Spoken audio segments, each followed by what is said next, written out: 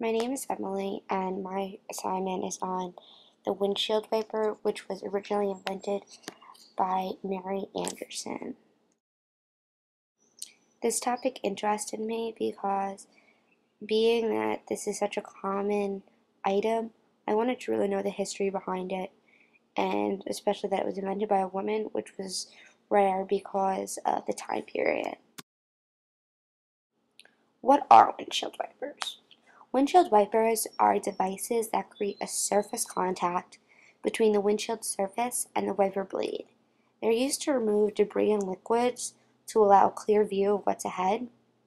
They can be found on cars, um, headlights, airplanes, trains, and even space shuttles. Mary Anderson invented the windshield wiper. Little is known about her life except that she was from the South and she came up with the idea of the windshield wiper after a trip to New York, which was paid for by an inheritance from her aunt.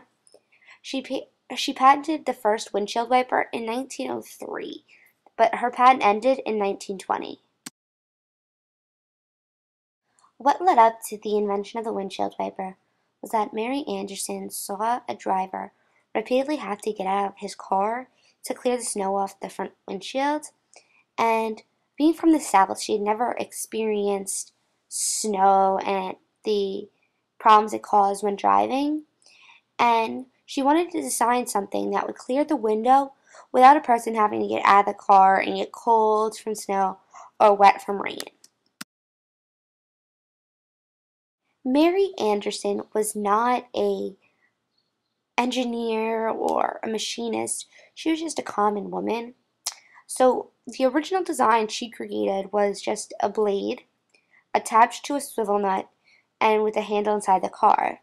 The driver would be able to turn the handle and the swivel nut would allow the wiper blade to follow. She brought the patented design to machinist in Birmingham to see if he could create her actual design. The idea of how the windshield wiper would work was that pressure would be applied from the wiper arm to the wiper blade to make contact with the windshield. This would allow the blade to easily clear whatever was obstructing the view.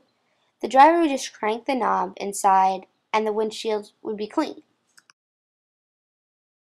Mary Anderson tried to sell her patent to one company and it was rejected after that, she never actually tried to sell it to any other companies. And the reason for that um, was never really known. However, it's thought that she stopped trying because many of her friends in the South thought it was ridiculous that a woman would be inventing something and as ridiculous as something of the windshield wiper. When her patent design ended, a man invented the mechanical windshield wiper. The design obviously changed.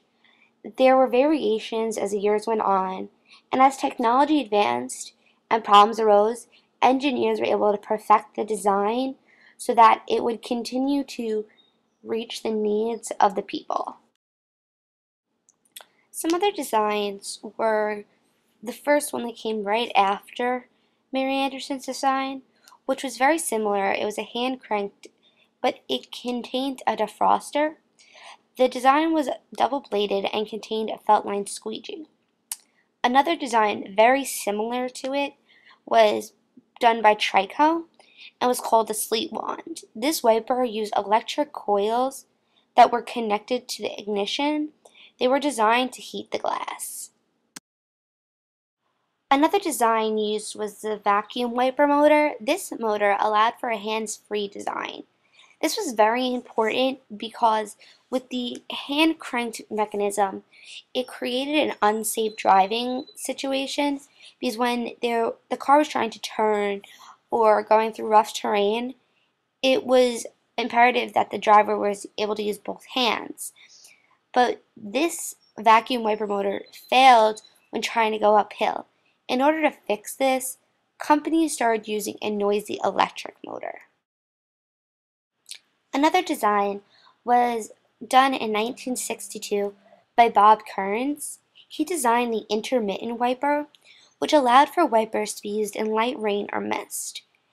Bob Kearns is very well known not for his only for his design, but for the lawsuits he placed against companies using his design. His design is very similar to what's used today. Since then, companies have designed windshield wipers with microsensors. These microsensors allow for the windshield wipers to adjust to the amount of rain and adjust the speed of the wipers to maintain a clear vision without overworking them.